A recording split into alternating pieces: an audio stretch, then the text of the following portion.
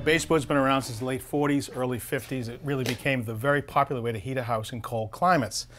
Now, it's a perimeter style of heat. The baseboard mounts on the outside wall, and heated water goes right around, so it's very comfortable.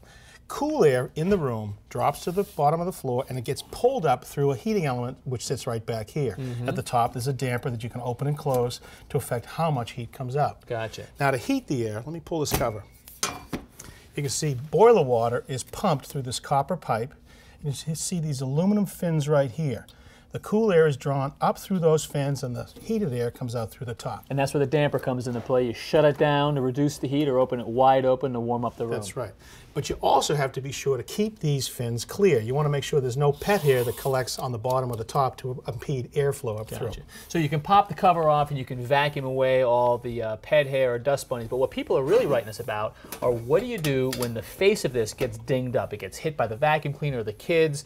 Maybe the top is pitted and a little bit rusty. I tell you, we've seen them so beaten up. You know, right. if it's just if it's just pit corrosion, you can try to paint it and try yeah. to bring it back. But oftentimes, what we do is we replace the cover. Now the element's going to stay right here, and they actually sell this. This is called a dummy, and it has no heating element inside of it.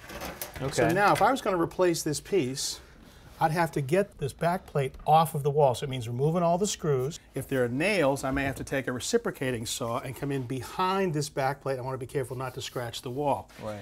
Now remember, this element is still connected. It's attached to the rest of the plumbing, That's so it's right. not really going anywhere. That's right. So then you have to figure out how to get this back plate out and also this carrier right here. You may have to wiggle this out here and then bring it out the side. And a few years ago, you did just that for a homeowner. You got it out, but it was a little fussy. Absolutely.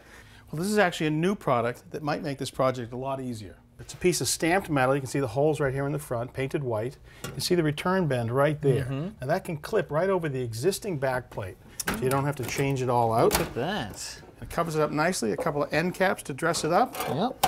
And it's a modern look.